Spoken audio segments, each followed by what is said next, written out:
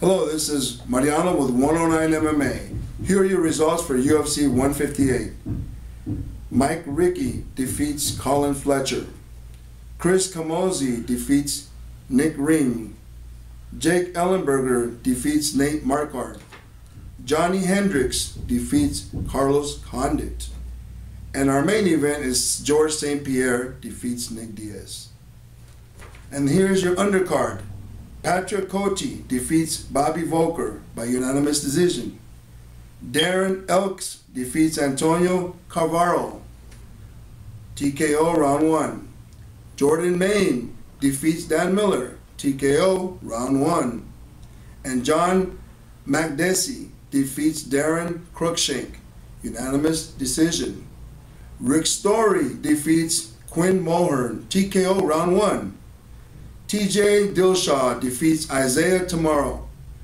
KO round two. And George Roop defeats Reuben Duran. Unanimous decision. And those are your results. Please like us and subscribe to us. Thank you.